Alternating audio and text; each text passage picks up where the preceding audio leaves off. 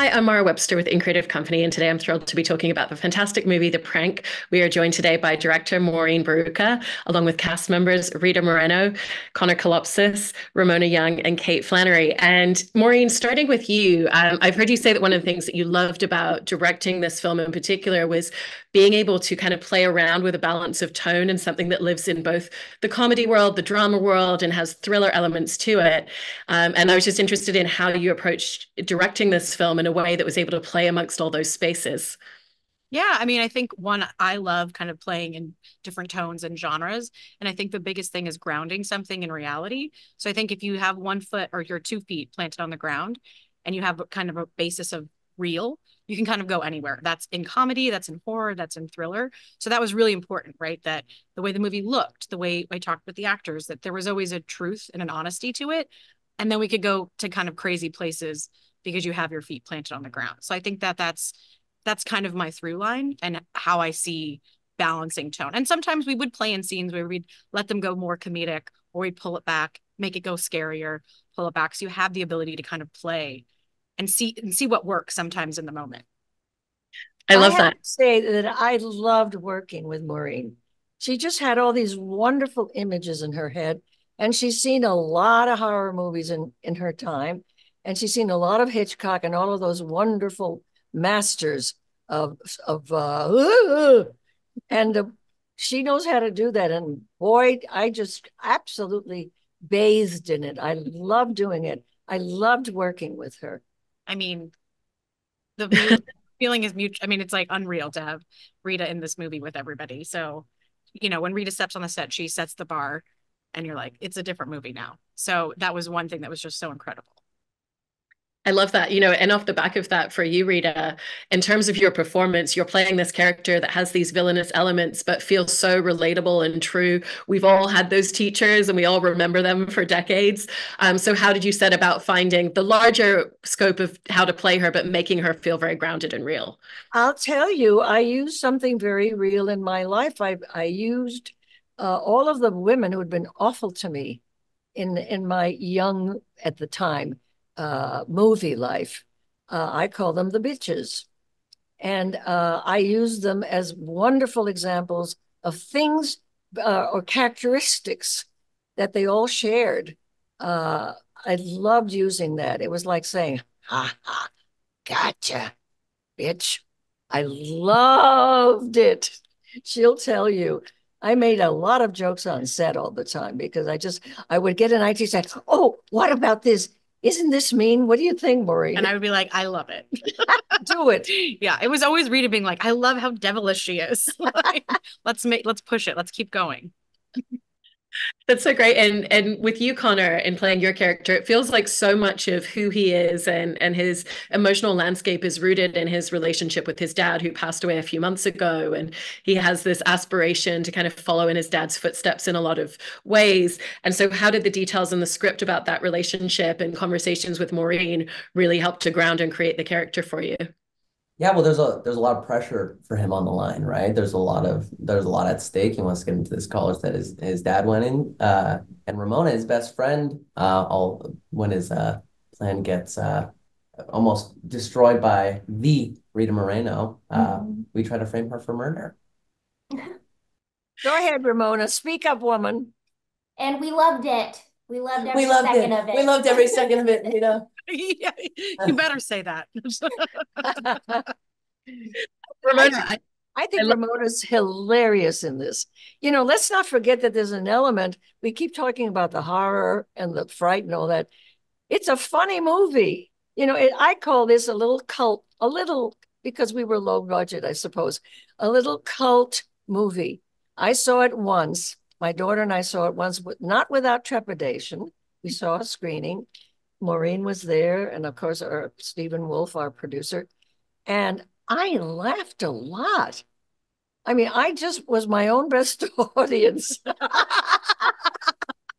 you did. You're like, I love that shot. I love the score. Like, I, I think again, being such a movie fan, I think that you, you yeah, pick out those right. things that we really love. Uh huh. It was great fun. That's so wonderful. And and Ramona, in talking a little bit more about your character, I love your journey of auditioning um, because the script originally had written Tanner as a male character, and Maureen saw there being real potential in you know having this beautiful platonic friendship. Um, and so when you were auditioning, given that the idea of who the character was became a malleable entity, how did that kind of open up the space in which you felt like you could play around with who she was going to be for you? Um, I mean, I just really trusted the script and I trusted Maureen and my cast and I just worked off like the atmosphere and I felt like everyone like treated me with such like kindness and grace. Like I I had a lot of fun just being free and playing around with the character because everyone else did. Oh, you made me you made me giggle a lot. I mean, you played you played the kind of valley girl that I despise. Oh, thank you so And, and, and you did it so well. It was you were just delicious. As soon as we yeah, Connor, soon as- you were pretty good too. So I was okay. no, it was as soon as Ramona's tape came in, it was there was it was clear that there was only one choice, and it was Ramona. And what was so great was, yeah, we never get to see platonic best friends. Like I have many guy friends growing up in high school that I never had a crush on. um, and so I thought they had such great chemistry together. As soon as you see Ramona and Connor together, it was instant that they were friends. And you know, I had them go off and make a song together. Um, and that was kind of the thing that they did before we started the movie. So they really had that kind of real friendship kind of built and baked in when we started shooting. Why did they have to do a song together? I'm just They curious. do it in the movie, so I wanted know. to actually create a song in real life together.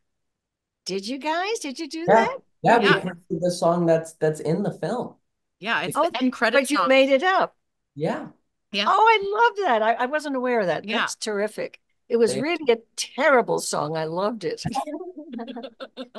Well, I I will say really quickly, I when we were talking about Ramona's character, I think because Kate and Rita are here, some of the best dynamics not only come, I mean, it wasn't just the relationship between me and me and Ramona's character, but I love the the the the villain, the villain between you, Rita, and and Kate. Oh yeah. Yeah, but Great. some of my favorite scenes are Ramona and Kate in the the lunch line. Like, yeah, just that they're head to head, like the respect and kind of animosity at the same time. I think is really Mhm. fun how you guys played it.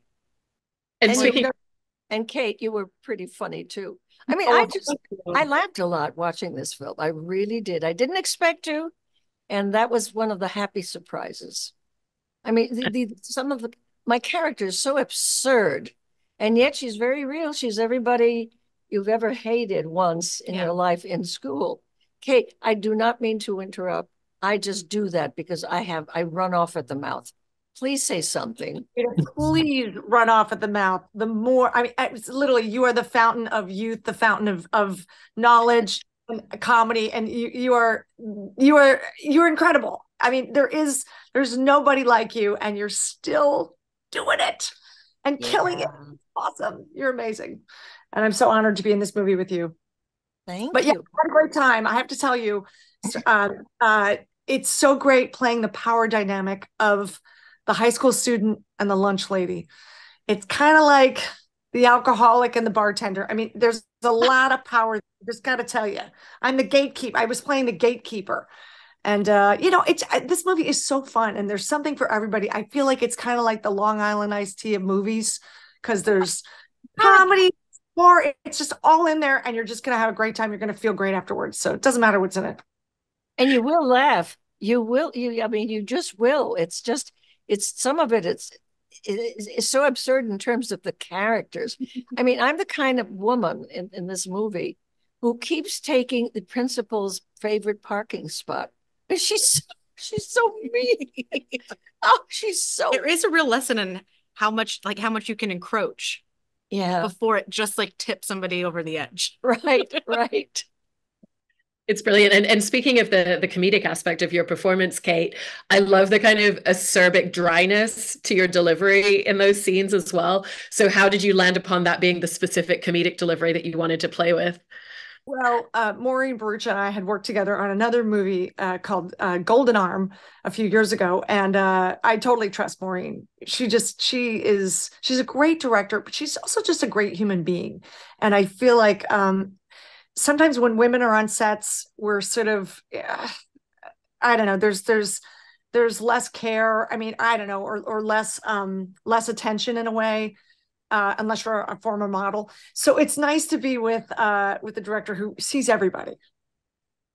It's wonderful. And and Connor and Ramona, in, in coming back to talking about the song that you know the two of you developed for the film um, you know i love that that was kind of how you worked on building your chemistry together as well because of getting to do that before going into production um, and so what was that creative process of, of figuring out who are these characters going to be and delivering a musical number in the middle of the sports field that is kind of intentionally not great but something that they love yeah, well, we met I think like three days before shooting too. So to to play, you know, long like lifelong friends that, you know, Yeah. we had to build that chemistry. We were just hanging out, getting to know each other, trying to figure this song thing out. And then Connor was just like, Do you like pineapples on pizza? And I was like, Hell no. And then that was And then that's the genesis That's of the song. That's marvelous. And Maureen, I love your ability to kind of also in in the comedic space create visual jokes. So that moment when they're performing on the sports field, and then you cut to some of the people in the stands, and you realize they can't even hear what's being performed down below. It's such a great moment. And so, how did you set about coming up with moments like that, where it's like visually we can enhance the joke by doing this?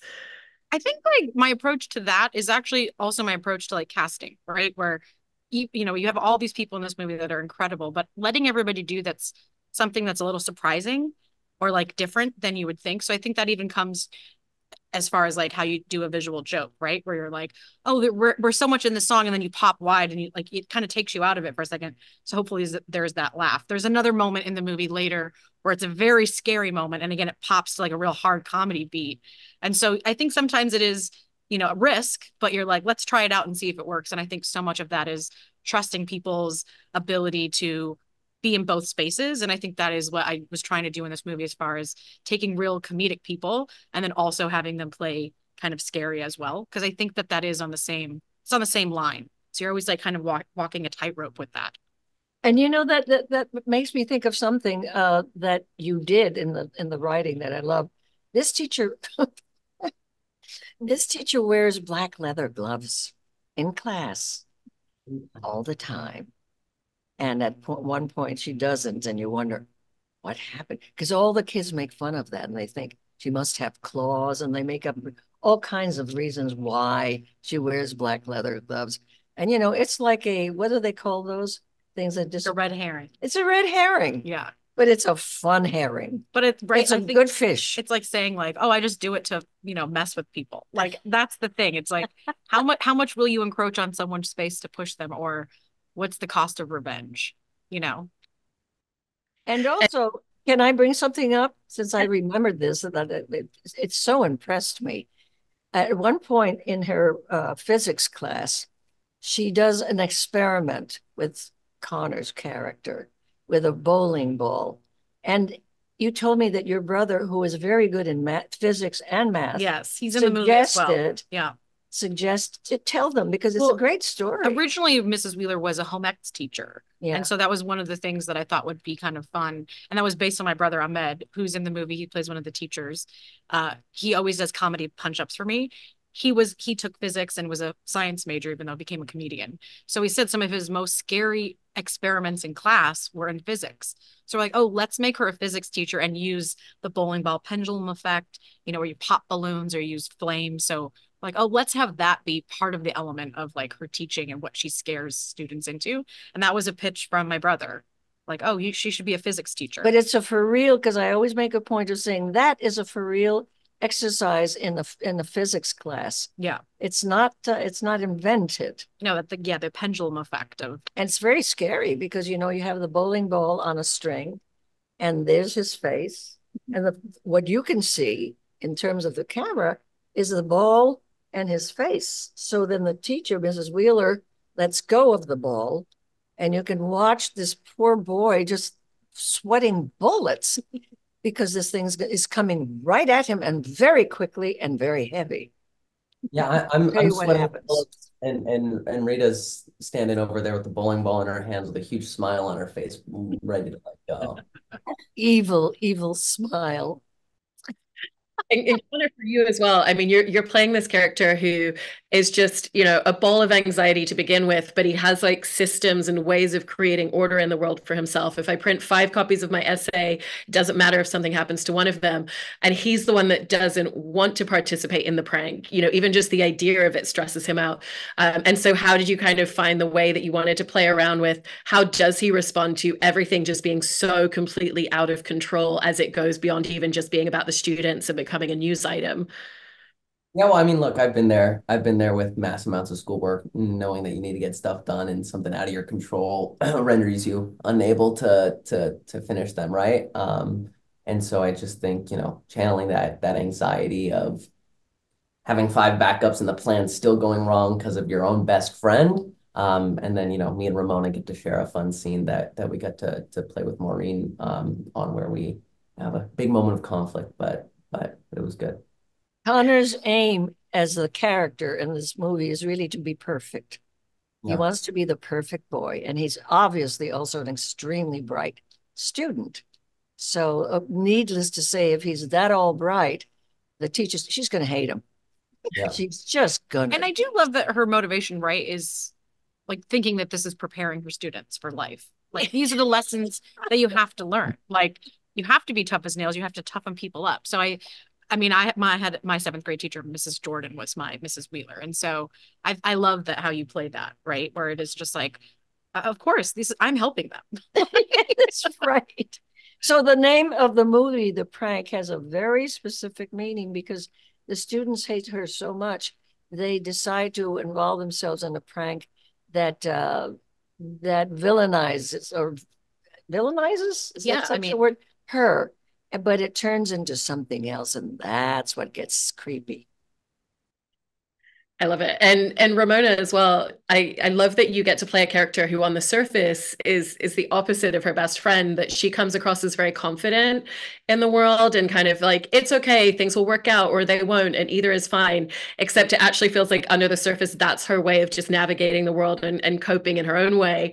Um and so what was the fun in kind of the exterior the the exterior which is so confident but also looking at the fragility underneath her. Yeah, I mean, the character was just very well created. You, I mean, I think all of us play Yeah. characters with multiple layers, which is fun to like look into. Oh, whoa, that's so, oh, I, That's so mine doesn't funny. do that. Um, but yeah, I think everyone has their insecurities and it comes out in different ways. Some people like are more earnest about it and some people hide it with like a facade of confidence, which Tanner does definitely. And and Kate, and coming back to you, um, it sounds like Maureen really created a space where you were able to come to the foreground with ideas for your character, ideas for kind of how you wanted to play around with your performance. And how does that just open up the experience of making a film when you have a director like that who knows that if I cast the right people, then they're going to bring just as much to the table in terms of ideas? Well, that sense of trust is so important. And I, I, have to say, you know, after nine seasons on The Office, I feel like I learned a very specific relationship to the camera because we were shooting a documentary, a fake documentary. Um, so I always have to be reminded, like, oh, I can, I can get out of that space. I, so uh, Maureen just was a great little nudger and just reminding me. Um, but, but you know, when things are already laid out, you just walk the path. I mean, she laid the bricks, she put down a carpet, she hired a brass band. Just take a couple steps, and and it seems like I'm doing something more important than I than I do. But but that's that's the beauty of a great ensemble and a great project. And you know, eh, the thing about indie films, you have to be willing to take out the trash. You can't be a diva. Everybody has to be in this together.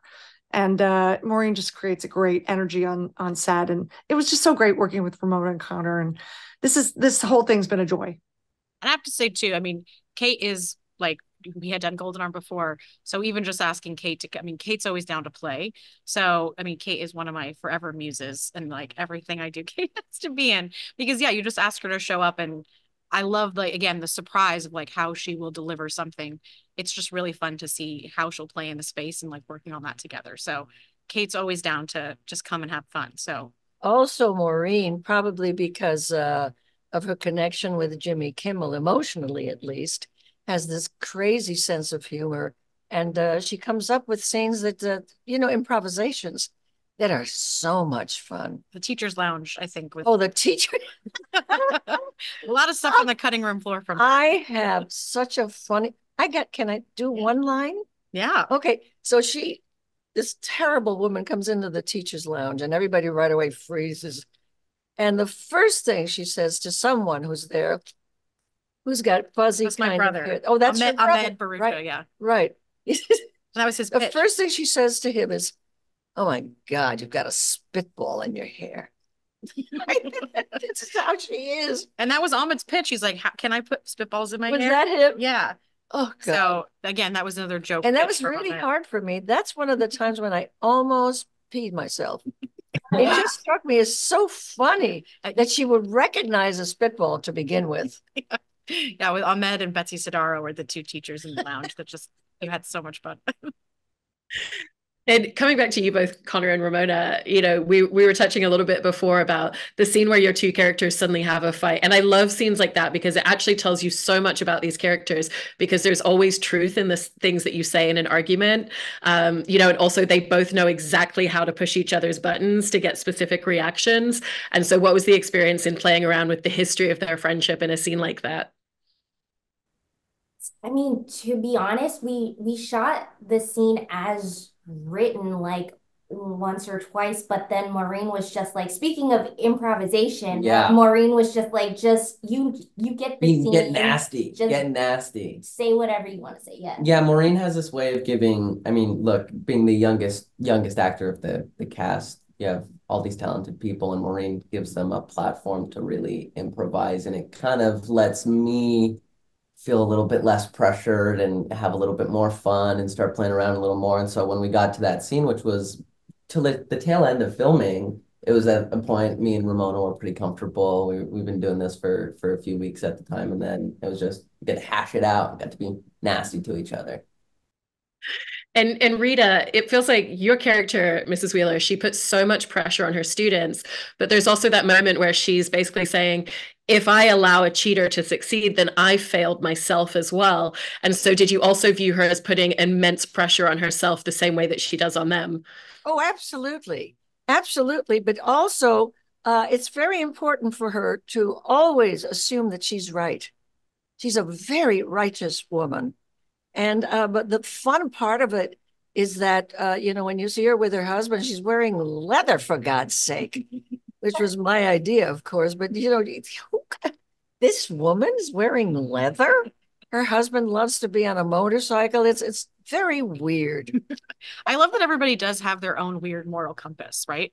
Everybody kind of has their own morality throughout the movie, whether that's pulling a prank or being hard on their students or being the gatekeeper or you know Keith David's principal. You know, I think that that's one really fun thing that everybody gets to play in a different way. And I, I love when I get to be really evil. And I mean, she is really evil. I just thrived. You know, I must have been something in another life, I mean, I I loved it. or I'm making up for something from another life. I enjoy it immensely. Well, I really, really loved the film and everything that you've all brought to the table in it. So, congratulations on a fantastic movie. I'm so glad it was a wonderful experience and thank you so much. Thank, Thank you. And you. we're so glad you enjoyed it. Thank you.